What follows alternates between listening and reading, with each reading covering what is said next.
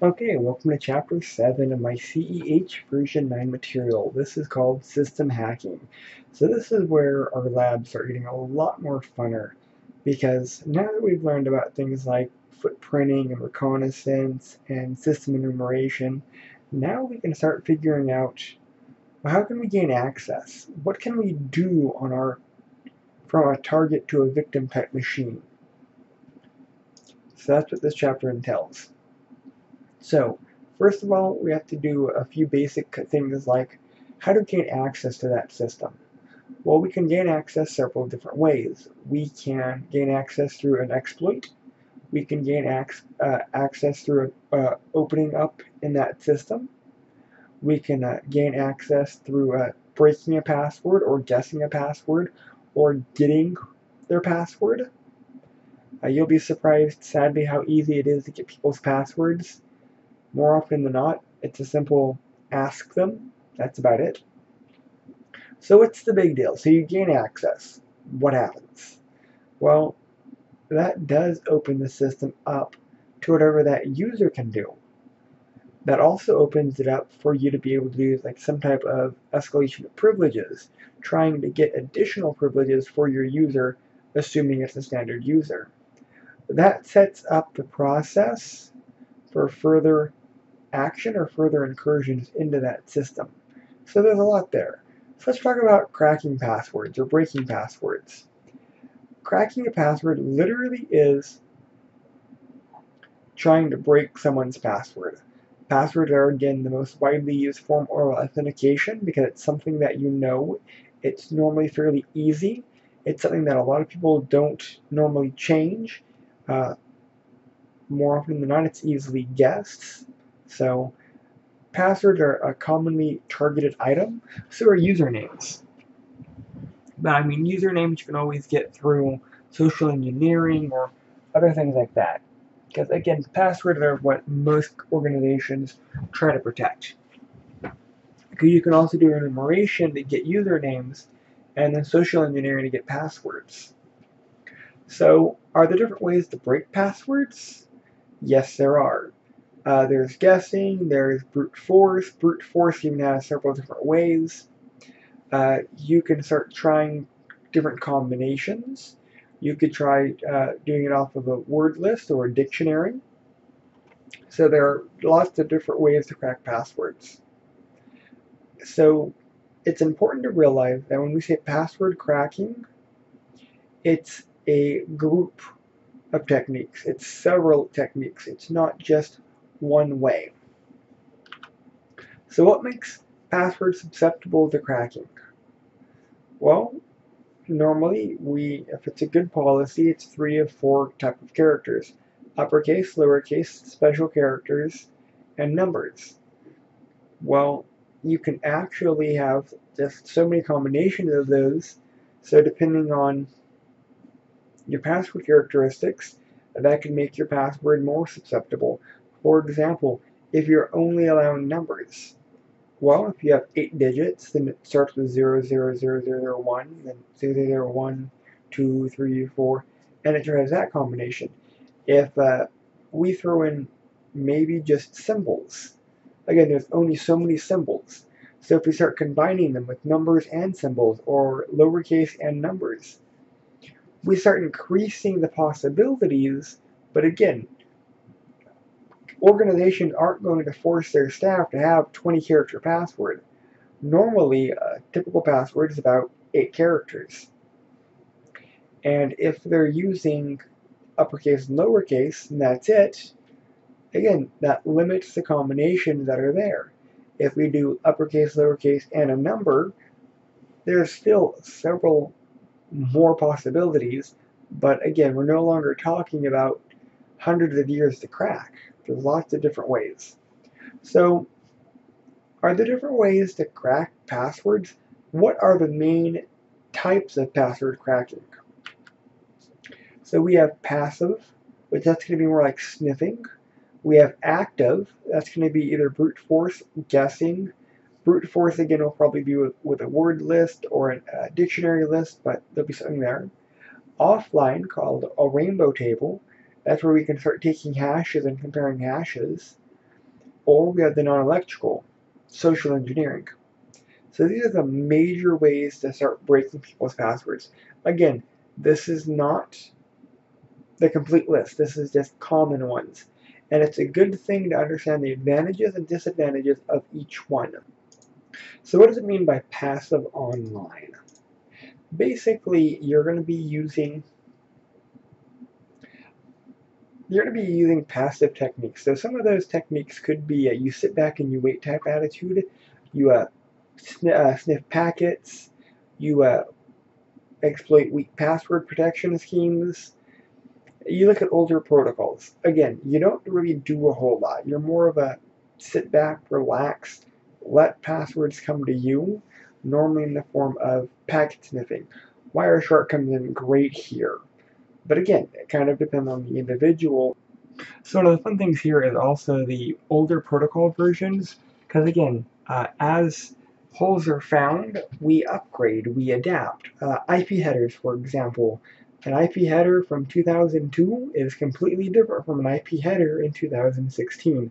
Okay, maybe not completely different, but there's clearly some differences. So let's look at differences between protocol vulnerabilities to sniffing. Hmm, this is always real fun. Plain text items such as telnet, uh, FTP, anything that will transmit passwords in plain text, HTTP, FTP, POP, uh, TFTP, things like that, those are vulnerable because the passwords are sent in clear texts. POP and IMAP are horrible with this, Telnet, but there are ways to actually protect Telnet. Instead of using that, use a secure shell. Yes, more setup is required, but things like passwords are not sent in clear text.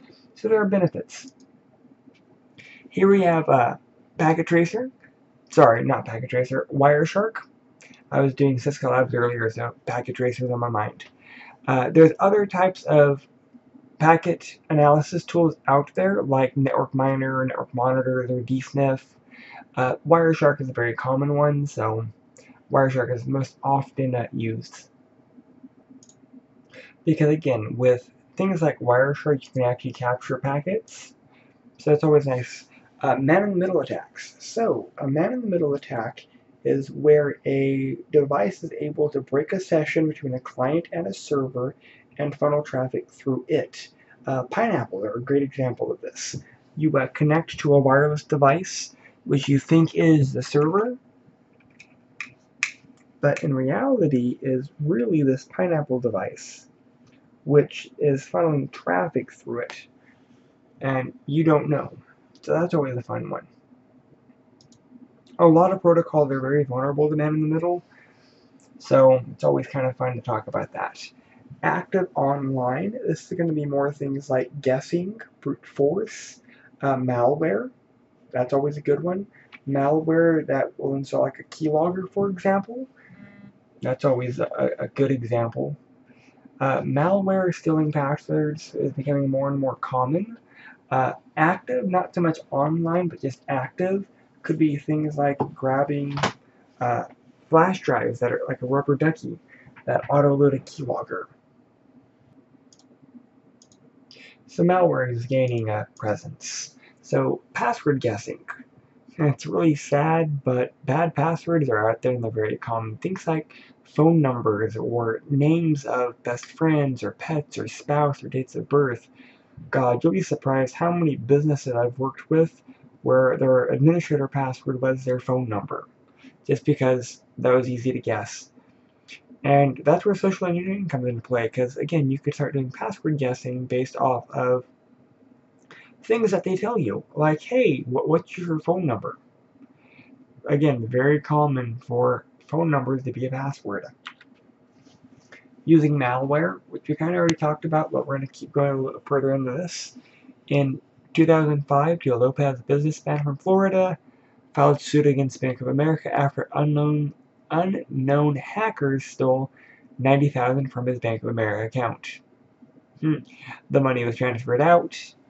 The investigation showed that it was uh, Lopez's computer that was infected. And so, there. So malware is a class of software with no beneficial use. Uh, that's subjective, kind of depending. Uh,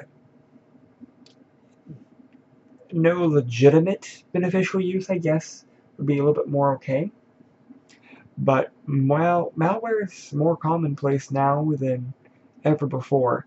Uh, different types of malware also exists, so we have to be aware of that.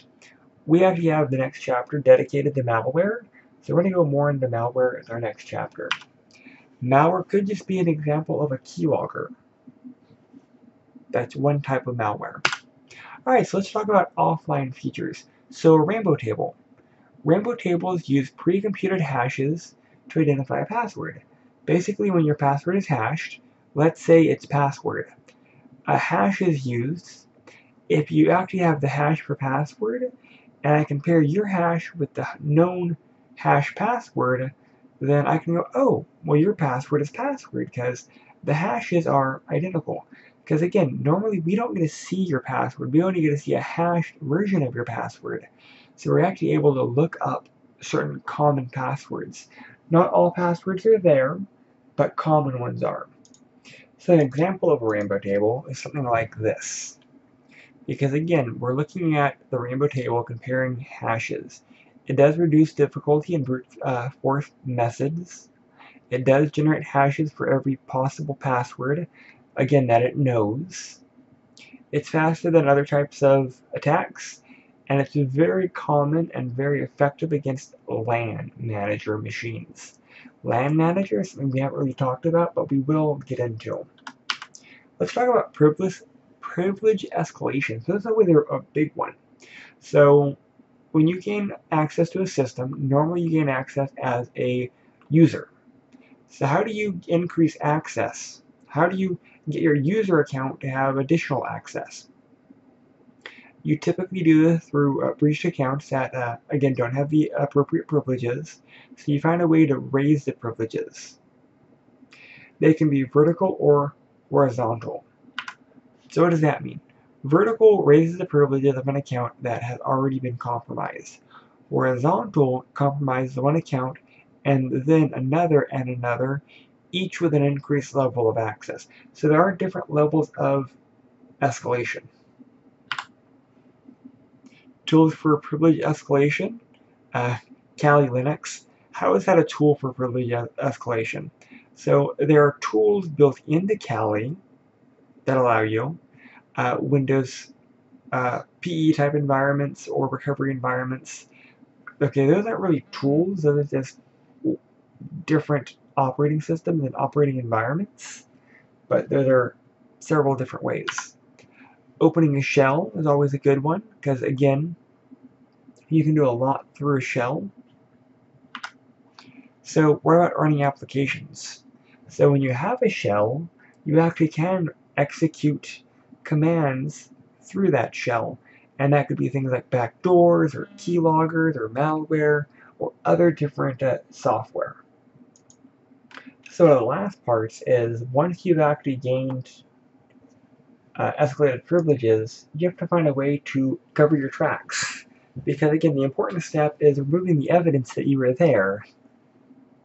Uh, that could be things like eliminating logs or altering logs. So again, you need to understand how to work with log files. So your goal is to prevent leaving any information or any trace that you were there. So things like disabling audit features or things like that. They may not always prevent people from knowing you're there, but they're going to be slowing them down at least. Another big one is actually alternate, uh, alternate the data streams. So ADS was introduced in uh, Windows NTFS, an earlier version of NTFS, as well as other Mac systems. So you can actually manipulate audit files from machines. I know that's not what this is really talking about, but we're talking more like logs. But since we're talking about covering tracks, I thought that was a good point to bring up now. You also have ways to alter the stream uh, from data. You can actually use specific software to detect or to manipulate these data streams so that you can kind of stay hidden a little bit longer. That is the end of this chapter. Again, this was just a quick brief overview. I'm going to be posting some labs here a little bit later, so definitely take a look at those.